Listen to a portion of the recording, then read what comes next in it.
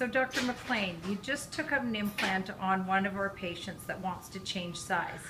Can you tell us what exactly the implant looks like after being in someone for 10 years? I certainly can. It was a good thing we did this uh, procedure because we're able to show you an implant 10 years old. And you can see this is a shaped implant. It's sort of a teardrop shape. And you can see that it's in very good condition even after 10 years. And um, you know, people often ask whether they should have implants exchanged every 10 years.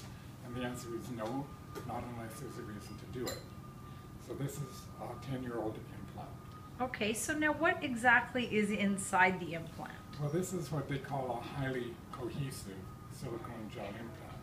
And that means that the gel inside all sticks together. And to test that, I'm going to try to cut this, actually cut this open and, and see what we can see inside it. This is a very sharp knife. So that's the gel inside. You can see it all stays together. It's not flowing. It's not flowing out. Um, So it doesn't it leak upside out. down and it won't leak out.